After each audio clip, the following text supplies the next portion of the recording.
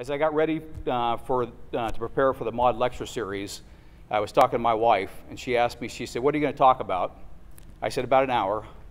That was a joke. Oh, just make sure you're still with me. I asked her for some advice and uh, asked her what, what I, how I should craft my remarks. She offered uh, that I should start on a light note, I should end with a moving story, and not to put too much in between. I asked her, How will I know if I'm talking too long? She said, If they start to clap, you've gone too long.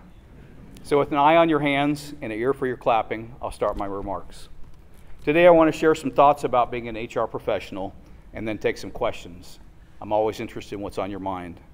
There are many aspects of being an HR professional, but I'd like to focus on a few precision, character, mentorship, leadership, and the personal touch.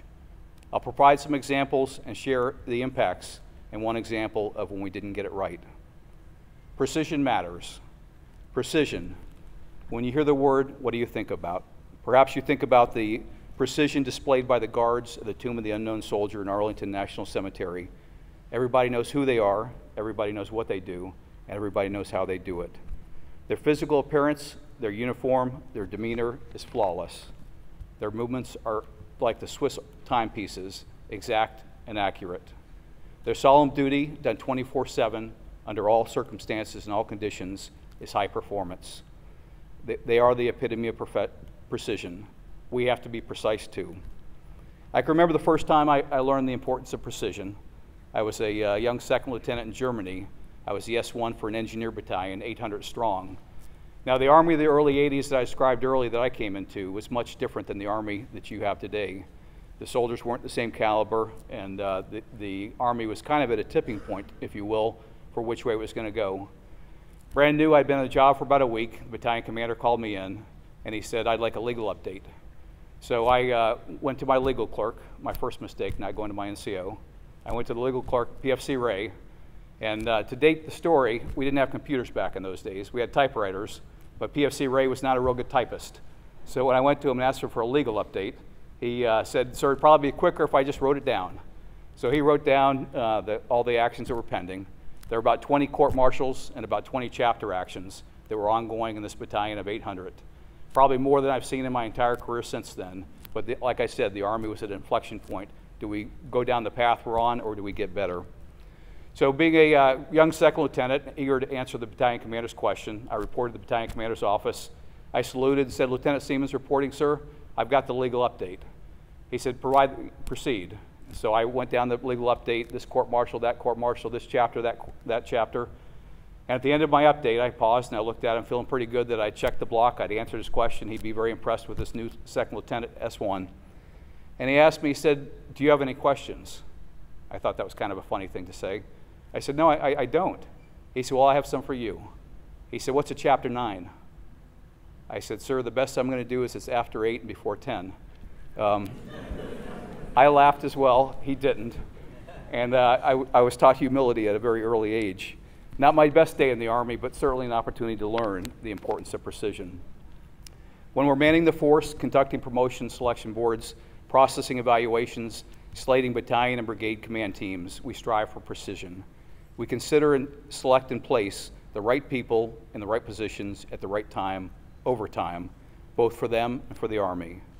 If we do it right, we build readiness in our units. If we miss, we put our Army, our soldiers, and our nation at risk. Ma'am, I hope you don't mind if I share a story about General Maude and the nickname he had. You may not even know this when he was at EPMD. Uh, Brigadier General Maude came into the Enlisted Personnel Management uh, Directorate when I was a uh, captain. Uh, and he, the nickname he earned was General Y, as in W-H-Y. Uh, and if I'm going to be honest with you, the director had gotten a little lazy. We didn't have much rigor in our staff actions. We often took the path of least resistance. We rationalized, we were busy, we had a lot of things going on, and hopefully good enough was good enough. And along comes General Maude. General Maude uh, would listen to a brief, and he'd ask the question, why? He would push back and not accept a short answer, yes or no, or because. He would push back again and say, Why? Show me, teach me, answer the question. What's your analysis? Show me the research. Without directing or telling us, he was challenging us to up our game.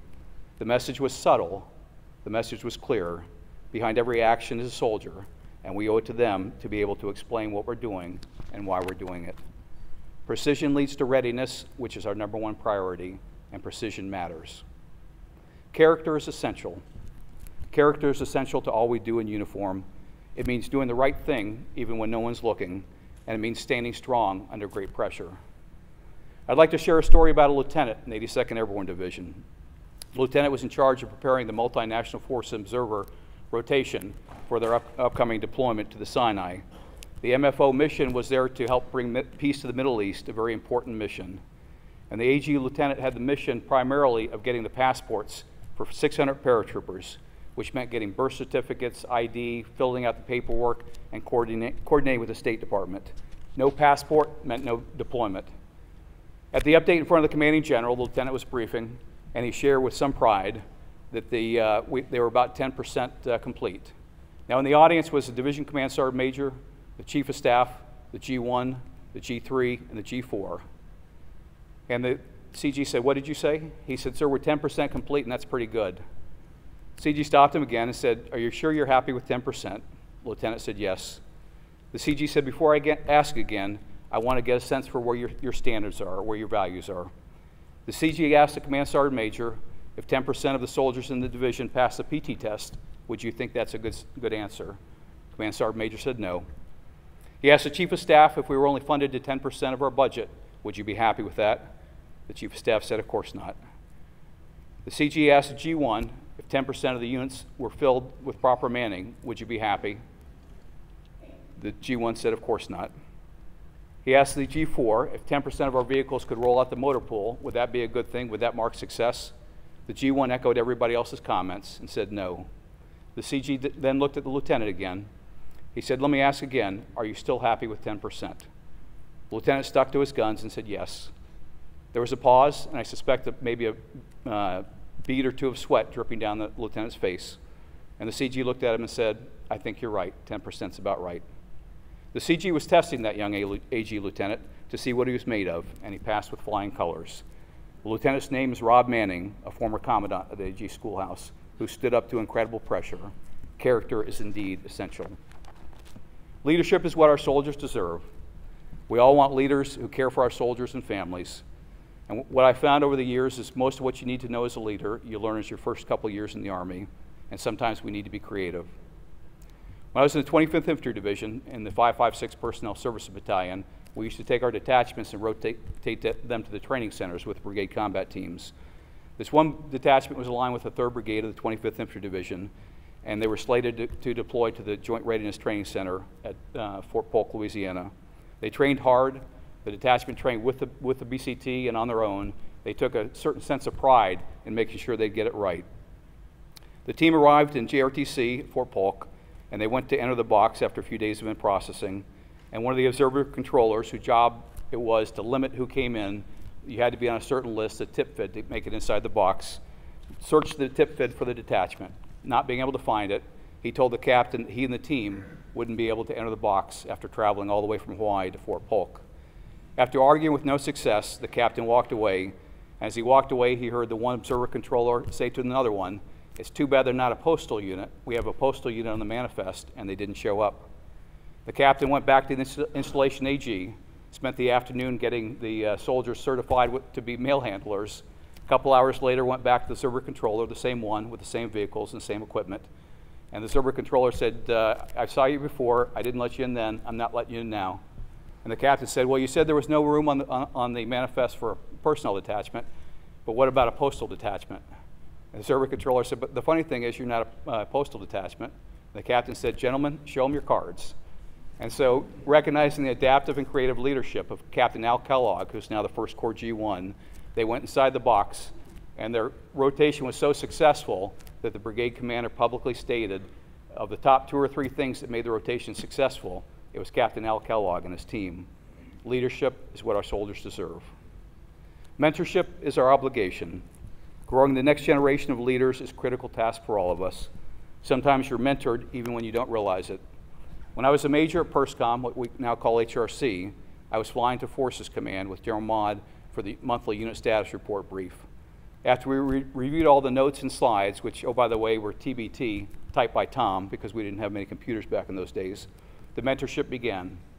General Maude asked me what I wanted to do the following year after I graduated from Command and General Staff College at Fort Leavenworth. I responded I wanted to go back to Fort Bragg and jump out of planes with other paratroopers. He said, Hold that thought. He said, Given your personality and your background, I think you'd be a good small group instructor at the schoolhouse. He went on about how important this small group instructors are, the opportunity to grow and mentor and develop the next generation. He spoke at length and was quite compelling. He then asked, Now, what do you want to do after hear at Leavenworth? So a little bit of pressure. I paused and I said I still wanted to jump out of planes with my fellow paratroopers. What I didn't realize at the time is he was trying to mentor me. He was trying to broaden me and make me a better officer. In hindsight, had I followed his wise counsel, Melissa wouldn't have asked me years ago, why, didn't, we, why weren't we ever assigned to Fort Jackson? Because I would have listened to him. It was a missed opportunity on my part not to listen to him, and I've thought about that over the years. Mentorship is our obligation. Personal touch is what we do. Personal touch turns a math problem into a positive outcome. We are HR professionals and we do personnel. Personnel as in N N E L. But if we do it right, we do personal, N A L. The Army's downsizing, yet we're still hiring. We, we are involved from the start of somebody's career to the end. I think it's really cool that the first person a citizen meets when they join the Army is an AG soldier, their recruiter. The entire time they're in uniform, we take care of their promotions, their assignments, their awards. And on, on the uh, tough days, we take care of the casualties. Everything that touches the soldiers, we take care of. When they leave the Army, the last person to touch them is an AG soldier or civilian at the transition point.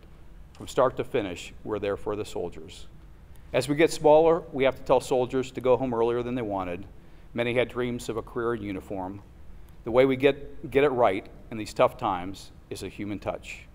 In the Pentagon, it's often seen as a number. In the field, it's not a number. It's a living, breathing soldier, many with families, with hopes and aspirations, and we play a big role in helping the commanders get it right. You can tell a lot about a leader, you can tell a lot about an organization by how they treat those who are leaving the organization. If we, you, ensure our transitioning soldiers are treated with dignity and respect, they will be the soldiers for life that we need. Personal touch is what you do. To the students in the room, once, once your time here is complete, those of you headed to operational assignments will be relied upon to serve the command and commanders, and more importantly, your soldiers. Whether you're an AG soldier, Finance Corps soldier, soldiers deserve uh, and that you serve expect to, that you to know and perform your duties with precision and character. Every personnel action, every finance transaction, every time you engage one on one, with a soldier, leading them, mentoring them, counseling them, encouraging them. They have an expectation that you care enough that you want to be the best that you can be. Commanders have the same expectations. As I watch your hands and listen for your clapping, I'll share a few remarks about the man whose life we gather here today to celebrate, Lieutenant General Timothy J. Maude. If there were an entry in encyclopedia for older guys like me, or a Google search that talked to precision, character, mentorship, leadership, and the personal touch. It could simply show General Maude's picture, as he was the epitome of all we need and demand in our leaders. His technical expertise was second to none. He possessed a thirst for knowledge and an insatiable appetite to both learn and teach. General Mott approached each day of his career as a training opportunity. He was the very essence of a leader, a mentor, a coach, and a trainer. He often said the best and brightest ideas came from the user level, the soldier, the admin NCO, not the colonel or the general. I think he earned this insight because he started his career as a soldier himself. Lieutenant General Maude's enduring legacy of identifying himself as a soldier, of caring for soldiers, of treating this business like the profession that it is, will forever shine brightly. The 3,700 strong soldiers, civilians, and contractors who work at HRC in the sprawling Lieutenant General Timothy J. Maude complex at Fort Knox are greeted every morning by a bronze plaque commemorating the building's namesake. It's not easy to miss, and often you'll find somebody reading the narrative that describes the events of 9 11 at the Pentagon. There are two things on the, the, plaque that I think bear repeating, and I think they both speak directly to General Maude and his passion for soldiers. The first are his words quote, True heroism is unremarkably sober, very undramatic. It is not the urge to surpass all others at whatever cost, but the urge to serve all others at whatever cost. The second was Lieutenant General Maude's signature line I am Tim Maud and an American soldier. Let me finish with a story when we didn't quite get it right, where we lost our precision and lost our personal touch. It's a story about Sam. When I was the uh, MNC uh, CJ1 in Iraq, uh, we had the full gamut of responsibilities, uh, and many of them I was able to mission command and, and power down to my team. The one area I wouldn't power down was casualty operations. I insisted on signing every award for a soldier who had fallen because I felt at some point that award might be on display, and I didn't want somebody signing for Tom Seamands and sending a message I didn't care. The other thing I wouldn't release or let anybody else release were the casualty reports. One day we lost a soldier named Sam.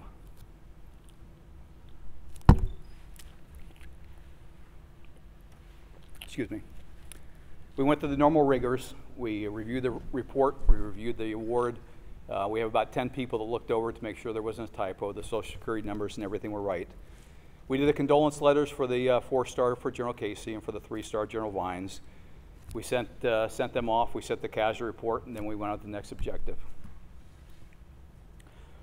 About a week later, the, uh, the condolence letters were returned with a handwritten note on the back by, by Sam's dad.